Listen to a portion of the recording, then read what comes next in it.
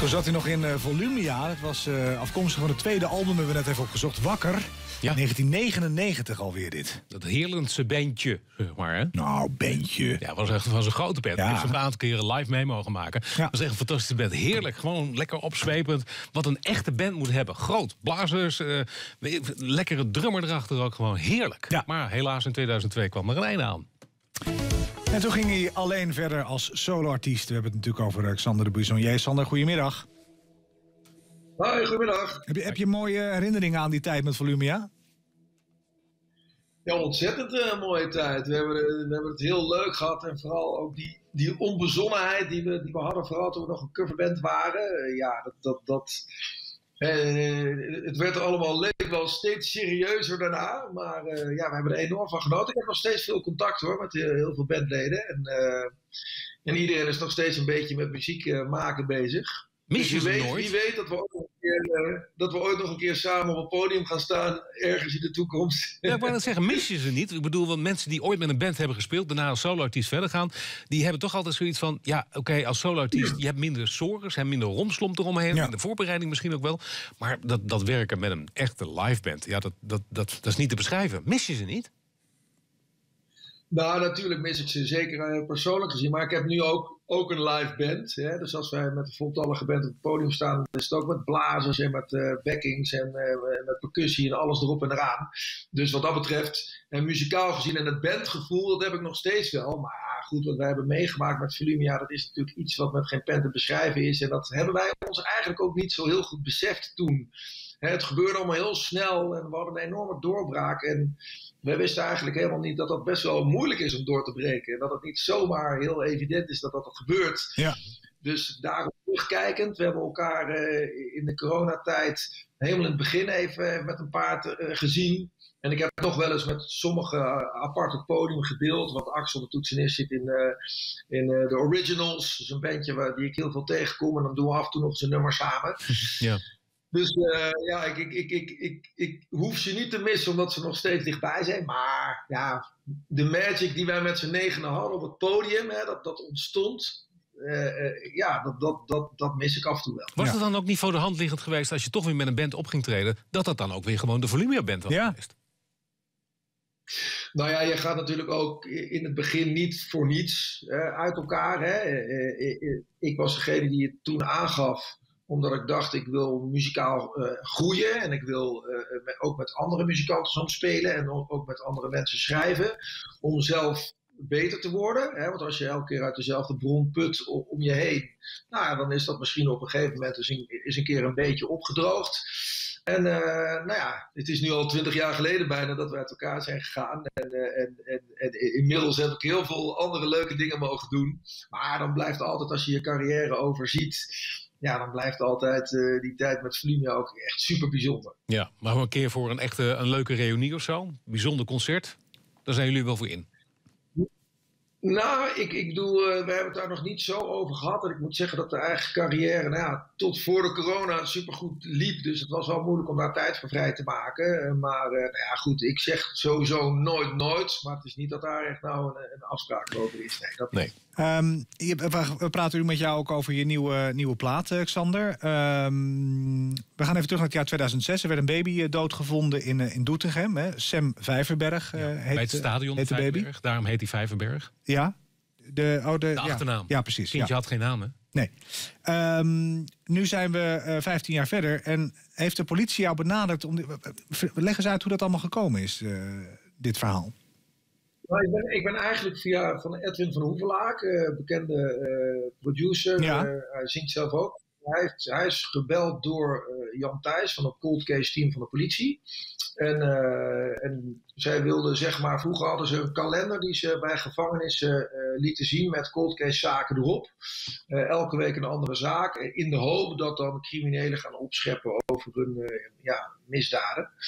Alleen ja, dit is niet iets, het lijkt mij, waar je heel erg over gaat opscheppen. En zeker niet in een gevangenis. Nee. Dus, dus qua dit zaken is dat, was dat heel lastig. En uh, ja, dan schud je heel even aan een boom. En uh, Peter R. de Vries die zegt altijd, als je maar lang genoeg aan een boom schudt, dan valt er vanzelf wat uit. Dus zij dachten, we gaan tien grote zaken nemen. En dit is er dan één van. En dat gaan, gaan wij multimediaal. Dus we gaan samenwerkingen zoeken met bijvoorbeeld de Graafschap, een voetbalclub. Of in dit geval dan met mij. Uh, ja, om een liedje aan die zaak te koppelen. Om op die manier toch meer emotie naar boven te laten komen. Uh, bij misschien zelfs wel de daders of mensen die er iets meer van weten. Ja. En ja, zo hebben ze benaderd. En ja, was best een bijzondere aanvraag. Zou je gelijk ja? Moest je erover nadenken? Nou, ik heb niet meteen ja gezegd, want ze belden op vrijdag en ik zei, nou geef me even het weekend om erover na te denken, want het moest woensdag klaar zijn. Uh, en toen ben ik toch ja, in het weekend een beetje achter de piano gaan zitten en toen had ik vrij snel uh, een liedje, althans qua melodie en qua akkoorden. En uh, toen belde ik maandag en zei, nou, ik wil het heel graag doen, want sowieso als, als de politie je vraagt om hun te helpen, ja, mm wie ben ik dan om nee te zeggen? En uh, ik wilde wel eerst zeker weten dat het ook zou lukken in korte tijd. En toen heb ik de tekst, vond ik wel moeilijker dan de muziek. Omdat normaal schrijf je een tekst vanuit je eigen beleveniswereld. Nou, dat, daar zitten dit soort heftige zaken niet in. Nee. En je moet ook rekening houden. Ik wilde niet letterlijk gaan schrijven van er is een babytje gevonden in het water. Want dat, ja, dat, dat, dat was te heftig. Dus ik wilde meer metaforisch schrijven, zodat het. Hè, als je dit verhaal kent en je luistert naar het liedje, dan denk je, nou, het is echt voor, voor het babytje geschreven. Maar als je het zou opzetten en niets van dit verhaal weet, dan zou het ook voor iedereen kunnen zijn die een beetje hoop nodig heeft in het leven. En, uh, dus dat was wel een puzzel, maar uiteindelijk is het me niet. Uh, ja, twee, drie dagen gelukt en uh, gingen we woensdag de studio in. Hielp het, hielp het jou ook, omdat je, ik bedoel, je hebt zelf ook kinderen. Ik heb een Sam, jij hebt een Sam. het gaat over Sam. Hoe, hoe, dicht komt het dan bij je? Want ik, ik voel me namelijk door deze plaat, en ook altijd, altijd over, over baby Sam gaat, voel ik me nauwer betrokken dan iemand anders die misschien niet een kind heeft dat Sam heet. Nou ja, dat, dat, had ik ook. En dat was uiteindelijk ook uh, Jan Thijs, die, die, die werkt voor de politie, die, die zei ook, uh, ik hoorde dat het Sam Vijfberg was. En daarom dacht ik qua artiest, om die reden ook aan jou. Oh ja.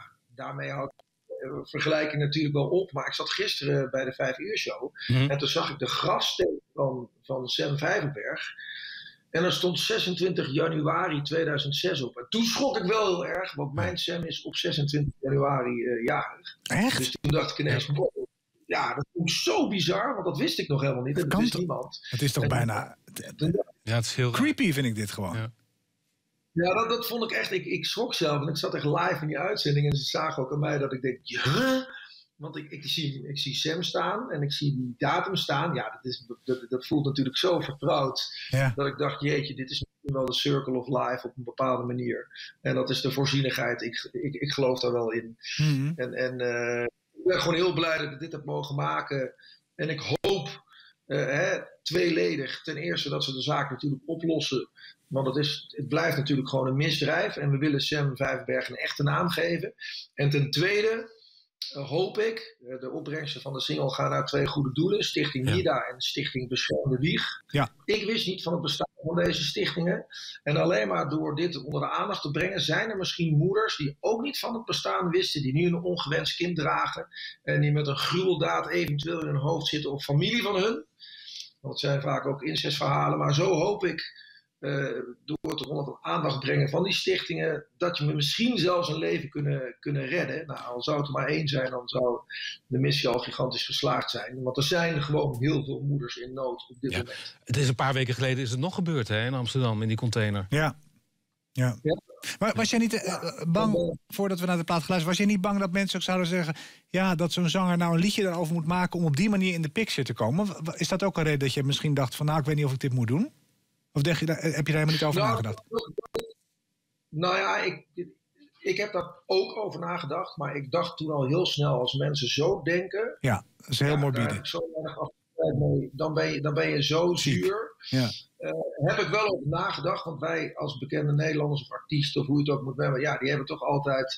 Uh, ja, het gebeurt dat er vaak op gereageerd kan worden. Ik heb ja. het gelukkig nog niet, niet, niet meegemaakt, maar ik zei wel meteen, nou dan moeten alle opbrengsten naar een goed doel Precies, gaan. Want ja. uh, ik, ik heb gewoon geen zin dat ik hier überhaupt een uh, millimeter aan zou uh, verdienen. Want dat, is, dat, dat vind ik dan ook echt not done.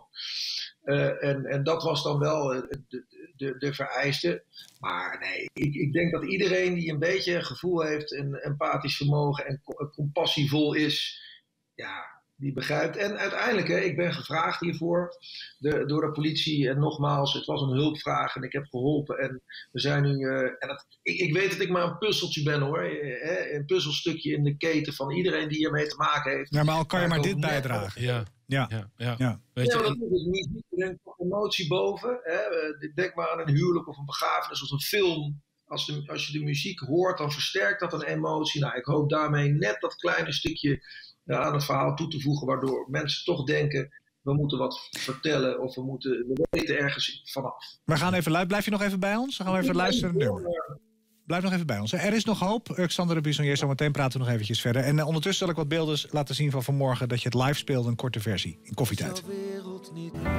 Nou, alles wat er is gebeurd, er is nog hoop. En het is nooit te laat om te praten.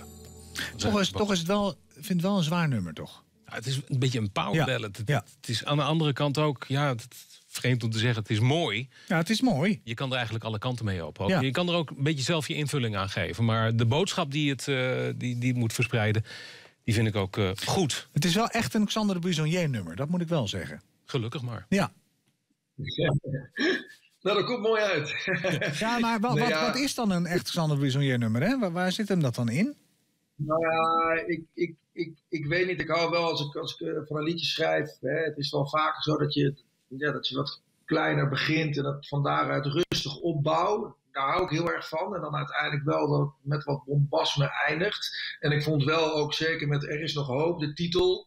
Het is ook een heftig verhaal. Dat het ook wel heftiger mocht zijn naar het einde toe in de muziek. En uh, ja, dat, dat is een manier. Ik heb ook wel eens ballads die je heel anders opbouwt. Of die je klein Maar dit was bij, bij dit nummer vond ik de beste, de beste keuze. Ja. Het is ook een beetje de akkoorden die je erbij gebruikt. En dan het dramatische wordt weergegeven door de, door de jankende gitaar. Hè? Ja. De distortion in het verhaal. Dat is het natuurlijk ook gewoon. Ja.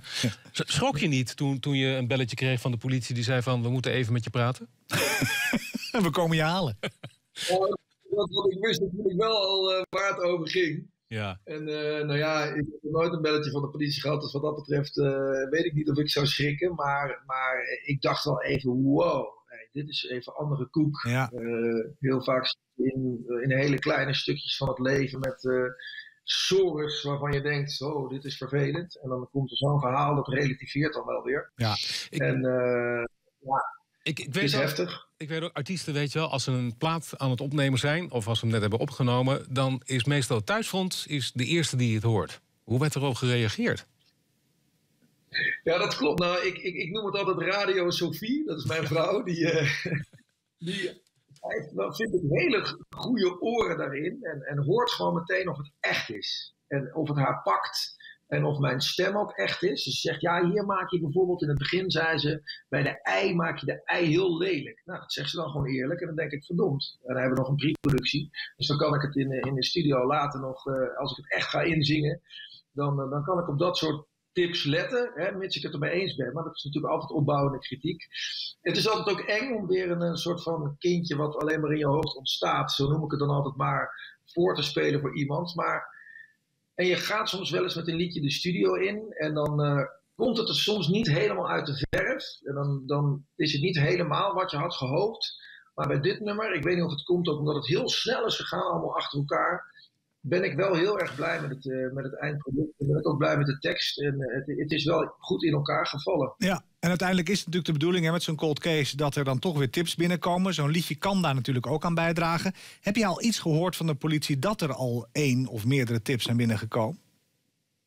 Ja, er zijn nu zo rond de 75 tips uh, binnengekomen. Zo? Inhoudelijk vertellen we daar niets over... Nee. maar er zitten ook echt hele goede tips bij. Vooral ook nieuwe tips, omdat er 15 jaar geleden een half, een half jaar onderzoek is gedaan naar, de, naar deze moord. Ja. En uh, dit zijn allemaal nieuwe tips. En, uh, en er heeft zelfs iemand anoniem uh, gereageerd met echt wel hele goede informatie. En die hopen we nog een keer, mocht diegene nu dit horen, de politie hoopt toch nog een keer met diegene te praten. Want ehm, ja, dat, dat was zo gedetailleerd dat ze daar meer van willen weten. Ja. En, en als er nou meer cold case zaken uh, geopend worden, vragen ze dan weer jou om een liedje daarbij te maken? Want je had het net over een stuk of 13 uh, cold case. Nee, maar word jij dan de cold nou, case zanger van Nederland? Dat ze je koude case gaan doen nou, als Bisonnier. dat lijkt me niet. Nee, nee dit, dit, is denk ik wel een een, een, eenmalig iets, ja goed, dat weet je natuurlijk nooit. Hè. Ik bedoel, als iemand me vraagt om ergens mij te helpen op een andere manier, dan zou ik het denk ik op een andere manier doen. Ik denk niet dat ik dat nog heel snel. Ik ga geen album opnemen met Cold Case. nee. De 13 Cold Case klassiekers, ja, Nee, dat gaan we niet doen. We zitten aan de tijd. Uh, ja, ik vond het helaas. hartstikke leuk om uh, met je te praten. Um, Zeker. Mocht corona sneller voorbij zijn dan dat, uh, dan dat we denken, kom langs. We hebben alle faciliteiten om je live te horen. Dus die afspraak maken we graag met jou. Goed. Tot dan. Houden contact. Fijn weekend. Dankjewel, Xander de Bisonnier. Ja, jullie ook. Doei. Bye bye.